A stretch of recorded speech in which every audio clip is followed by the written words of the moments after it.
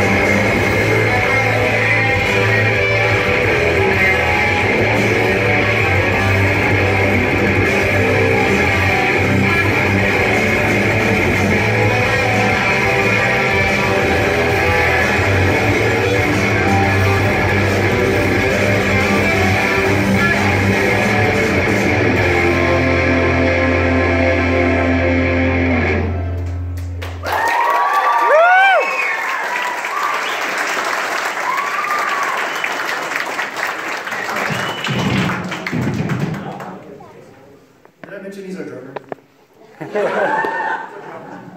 Just saying. I'm gonna give him a second before I actually address everybody, so.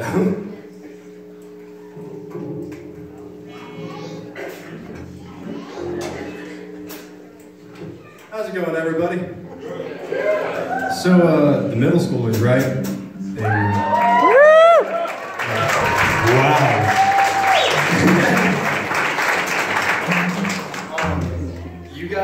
Absolutely killed it. Like, I don't, I don't know if you know to what level you killed it, but you really killed it. So, uh, the high schoolers, we've only got one song, but we've been working real hard on it, working on our stage presence, as you can see, and a couple other things. So, we're gonna have fun with this one.